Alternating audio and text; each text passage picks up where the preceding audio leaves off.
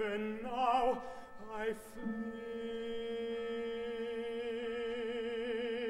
at the very thought of a stone taking wing from Madison, Wisconsin.